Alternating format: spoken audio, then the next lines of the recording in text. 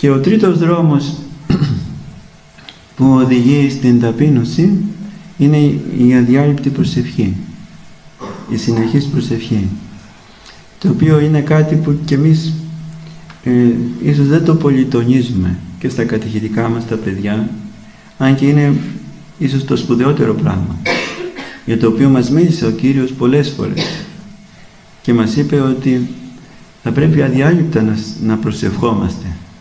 Και γι' αυτό το σκοπό είχε πει και την γνωστή αυτή παραβολή ε, της χείρας και το άδικο κριτού.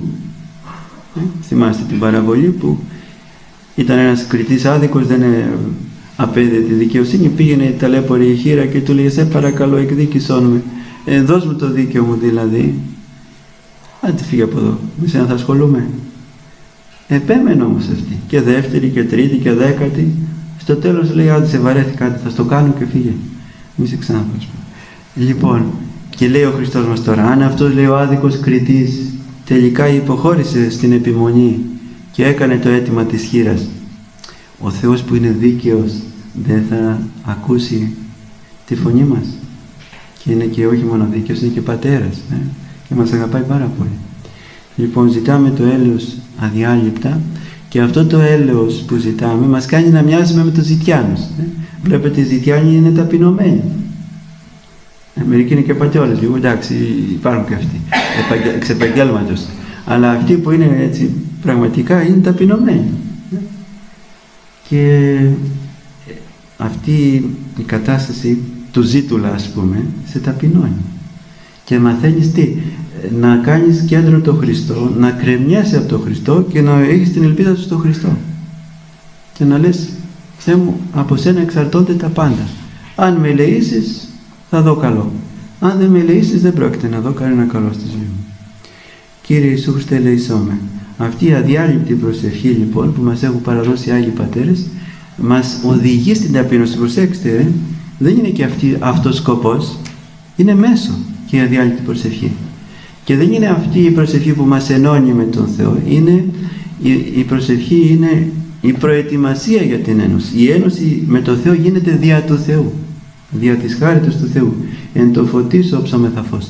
Αλλά για να έρθει το φως θα πρέπει να κάνουμε αυτά που είπαμε και να βάζουμε τον εαυτό μας κάτω από όλους και όπως λέει ο ζυγός ο Σινοήτης και από τους ανθρώπους δια την άγνοια αλλά προσέξτε τι έλεγε έτσι πολύ εντυπωσιακό είναι και από τους δαίμονες λέει. Μα στάσου πάτε θα μου πείτε είμαστε χειρότεροι και από τους δαίμονες; Είμαστε. Ξέρετε γιατί είμαστε; Είμαστε. Είμαστε. Γιατί τους κάνουμε υπακοή. Τους κάνουμε υπακοή. Σου λέει κάνε αυτό, σου βάζεις το λογισμό του κακό και εσύ πας σαν δούλος και το κάνεις. Άρα είσαι κατώτερος. Και λέει αυτός ο Άγιος είμαστε λέει εσχρότεροι και από όλα τα κτίσματα. Δηλαδή και από τις πέτρες και από τα άχυρα, από τις ακαθαριστές είμαστε πιο αισχροί εμείς. Θα πεις πώς. Αυτό γιατί το λέει ο Άγιος. Διότι λέει όλα τα πράγματα που έφτιαξε ο Θεός, τα, τα κτίσματα, τα υλικά πράγματα, ε, είναι στο καταφύσιν. Είναι στην κατάσταση δηλαδή που το, τα έφτιαξε ο Θεός. Ενώ εμείς επειδή είμαστε στην αμαρτία, δηλαδή στην αποστασία από τον Θεό, είμαστε στο παραφύσιν. Άρα είμαστε πιο ισχυροί και από όλα τα κτίσματα. Με τέτοιες σκέψεις λοιπόν και με τέτοια βιώματα που ξεκινούν από αυτές τις σκέψεις, ο άνθρωπος σιγά σιγά μαθαίνει να έχει ένα ταπεινό φρόνημα και να εξορίζει από το βάθος της καρδιάς του την πικρή ρίζα που ο Άγιος Νικόδημος την ονομάζει ίηση.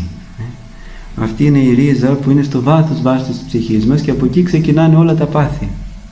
Η ίηση είναι η ιδέα ότι είμαστε κάποιον τι, ότι είμαστε κάτι. Και θα πρέπει αυτό το κάτι να το περιφρουρήσουμε. Ε. Η περίφημη αξιοπρέπεια. Λέμε μας στήξει την αξιοπρέπειά μας, έτσι, έχουμε και μια αξιοπρέπεια. Έχουμε και μια ιδέα, είμαστε και κάτι τέλος πάντων.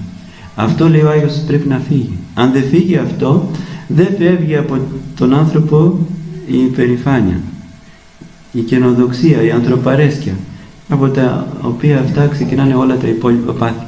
Όλες οι υπόλοιπες δεσμεύσεις, εξαρτήσεις, σκλαβιές. Αν δεν φύγουν αυτά, είμαστε σκλάβοι. Δεν μπορούμε να γίνουμε ελεύθεροι. Βλέπετε οι Άγιοι ε, είναι τρομερά απλή. Και εντυπωσιάζονται οι άνθρωποι και σου λέει πώς είναι έτσι; Σαν μικρό παιδάκι λέει είναι. Έτσι είναι. Βλέπεις έναν ασκητή και νομίζεις ότι βλέπεις ένα παιδάκι. Και τα παιδάκια νιώθουν πολύ καλά με αυτούς, ξέρετε, γιατί λέει μας νοιάζουν. Ενώ ο άλλος το καθώς πρέπει έτσι με το ύφος, με το τουπέ, με το κλπ, ξέρετε, το υφάκι που λέμε, ε, είναι αποκρουστικός. Αποκρουστικός. Απέσιος είναι. Και δεν τον θέλει κανένας κατά βάθος. Και αυτοί που τον κάνουν παρέα, τον κάνουν γιατί έχουν κάποια συμφέροντα, κάποιες επιδιώξεις. Κάτι ελπίζουν να πάρουν από αυτό. Ενώ ο άνθρωπος ο ελευθερωμένος από τα πάθη του είναι προσιτός, είναι αγαπητός σε όλους. Χαίρεσαι να είσαι μαζί του. Γιατί ξέρεις ότι δεν θα σε προσβάλλει, δεν θα σε ταπεινώσει, ο ίδιος ταπεινώνεται.